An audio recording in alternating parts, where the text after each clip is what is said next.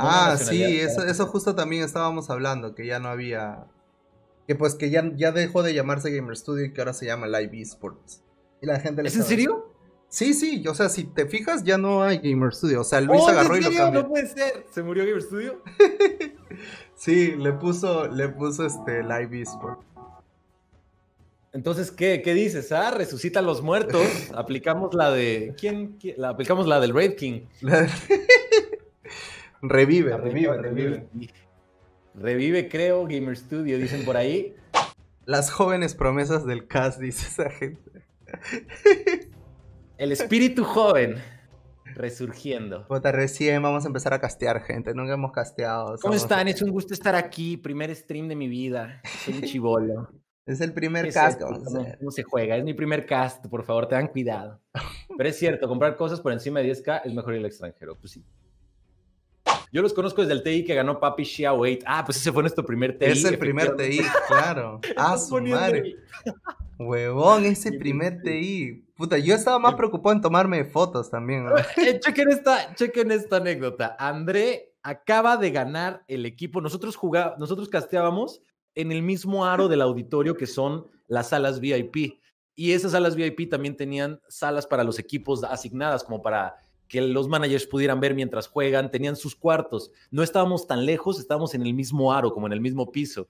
Y cuando ellos ganan el TI 2014 y suben para descansar con su cara de mierda, los vemos pasar y lo primero que hace Andrés es correr, meterse en medio de todos, darme la cámara a mí y decir, go, go, go, go, foto, foto, sí, sí, sí. Y los chinos con cara de mierda, como de. Ah".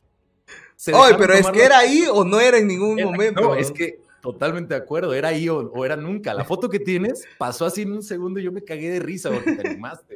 es que, claro, es que, weón, era justo después de haber ganado el TI, que están viniendo así como a celebrar con su gente, así, y un peruano de mierda agarra y se mete, se mete entre ellos. Oye, ya, ya, pule flash, pule flash, otro, otro, ya, y al toque fueron como máximo 15 segundos, no fue nada. Sí, sí, sí, fue el toque. fue, fue como a la mierda, qué huevos de oro, ¿ah? Te animaste. No, pero es que ese primer TI que fuimos fue como que más, puta, vamos a tomarnos foto, vamos a ver qué mierda sale. El primer TI fuimos demasiado fanboys, yo también lo admito sin pedos, o sea, pecamos horrible fanboys. Ya los demás sí fuimos a hacer la chamba un poquito más seria. Poquito. Es que, es que era el primer TI, o sea, era el primer TI. Creo que nos, nos merecíamos ir, ir así de, fanboys.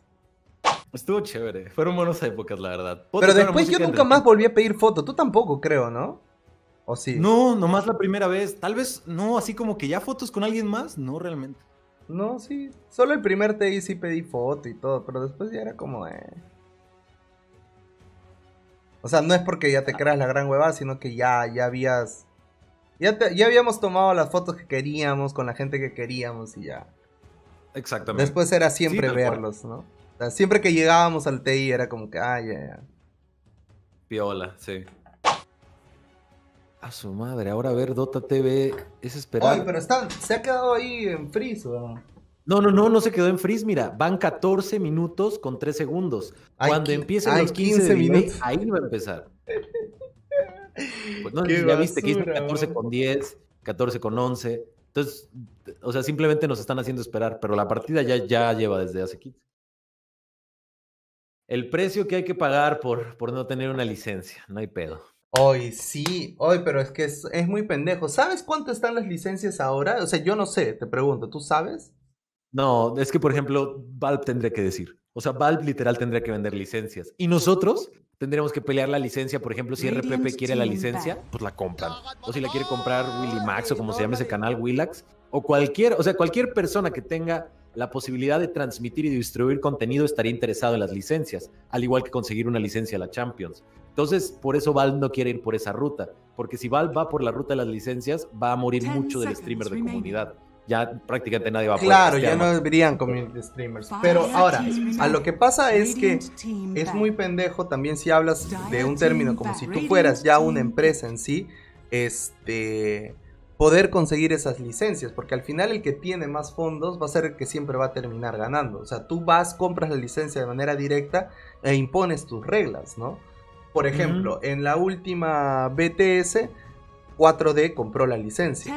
Entonces 4D podía castear sin delay alguno y ellos imponían el delay que se tenía que colocar en el idioma en español para todo el resto de canales. Es, es, es que es eso, oh. es, es, es este. No es un monopolio como tal, pero simplemente yo tengo el dinero para poder comprar la licencia y yo invierto porque quiero ese contenido. Y ya está. Y es válido. A mí ellos, lo, ellos sí ven como viable. como una inversión rentable.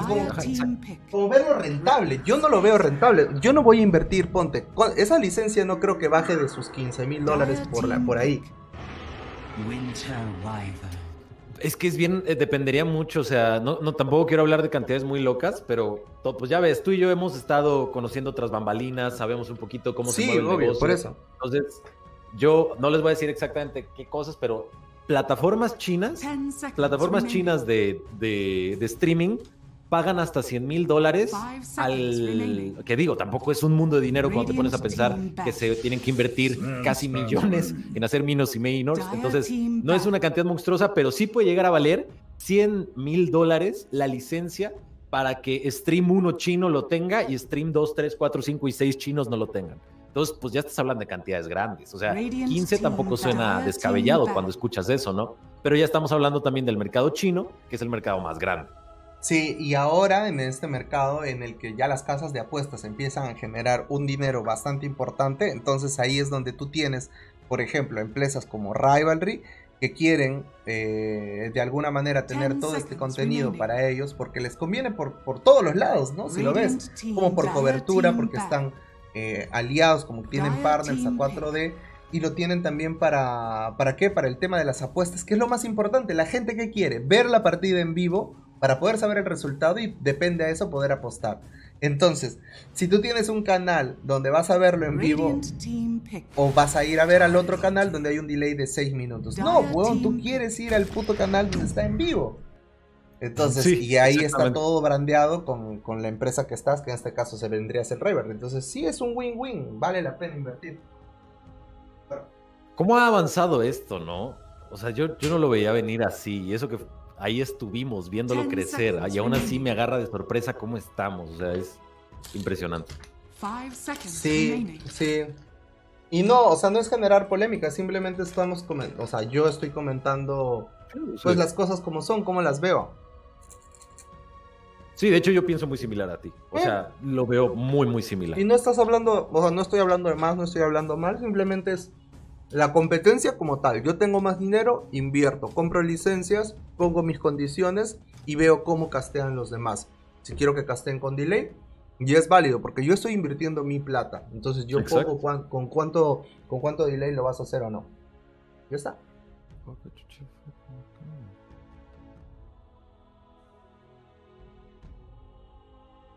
Uno quiere ir donde hay buenos casters. Ok.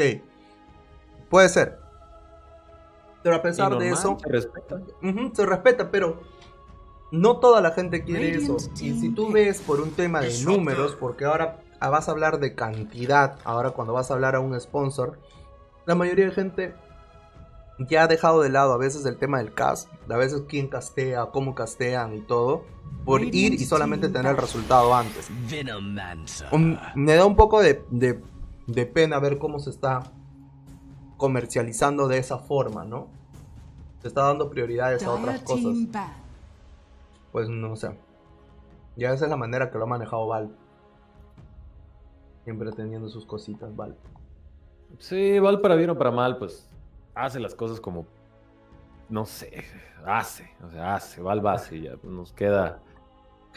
Nos queda decir, ok, ¿no? Pues ya, ¿qué sigue? ¿Qué queda? Pues sí, o sea, no nos queda decir mucho, ¿verdad? Sí, tiene, sus, siempre ha tenido sus cositas. Nosotros yo, yo, sí les puedo decir que, bueno, o sea, no voy a hablar por Andrés, sino yo hablo solo de mí. Yo, yo sí llevo años que digo, qué desgracia que Valve sea el dueño de Dota. Empezaron súper bien. De hecho, pues yo adoraba todo lo que Valve representaba y hacía, y para mí era como así el, sueño llegar a, a trabajar ahí o tener algo que ver. Pero ya que te das cuenta que siempre dejan por, o sea, siempre dejan morir juegos muy, muy buenos y la comunidad está y las ganas están y la plata está. ¿Va a haber Worlds este año? Ya, se ya hay un premio esperando de 40 millones de dólares de nuestra parte, o sea, del, juego que nos gusta, y no hay fecha, güey. Y no hay fecha. Es como que dices, Por favor, o sea, por favor, tíranos una migaja, maldito.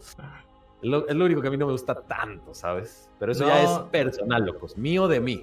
Ya ahí sí, yo, yo no estoy hablando por nadie más que mi experiencia. No, yo comparto contigo el hecho de que sí, o sea, Valve siempre ha sido como muy dejado de lado, o sea, no sé, es como muy, se desentiende de la escena y es como, ok, las organizaciones... Esa es la palabra, como que llega un punto donde Valve dice, bueno, ya pasaron cinco años, seis años, teníamos 30 personas, 40 en este proyecto, reduzcan el número a 6, solo asegúrense que los servidores funcionen, asegúrense que siempre esté parchado, que nunca haya problemas, ya hablando como de la estabilidad del juego mismo, más que crear nuevo contenido.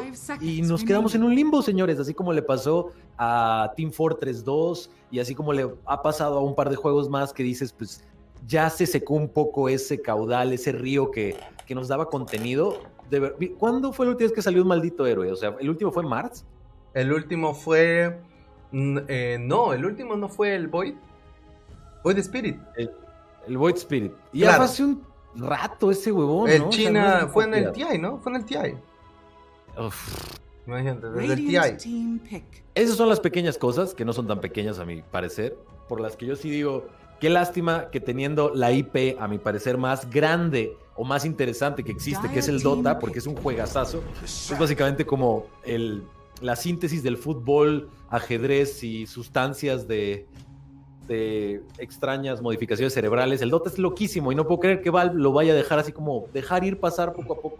Porque pues como ustedes saben, Valve no solo piensa en Dota, piensa en sus juegos de realidad aumentada como Alex. Eh, ellos tienen una división de realidad aumentada, tienen básicamente pues a su gente trabajando en Steam, que es la plataforma. Tienen proyectos por todos lados, o sea, Dota es uno de los múltiples proyectos que hay ahí. Y eso es lo que la gente no entiende muchas veces. La que Valve tiene tantas otras maneras de donde sacar dinero y donde tener ingresos que pues, o sea, a Dota le ponen atención cuando hay el TI. O sea, en las fechas de TI sí ves a la gente de Valve trabajando en esto. Y después toda esa misma gente se repliega en sus otras tareas, en sus labores cotidianas. Pero para el TI solamente los ves a todos los de Valve ahí muy metidos.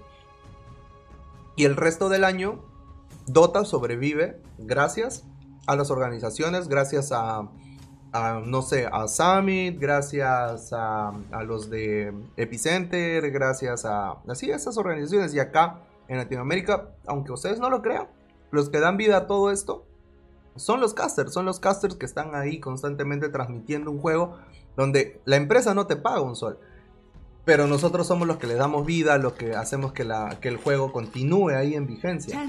Y en este caso ya, pues organizaciones como 4D, como la Media, que son los que organizan ligas y torneos para que esto todavía siga adelante, pero no es porque Valve le da un soporte directo, no. Exactamente.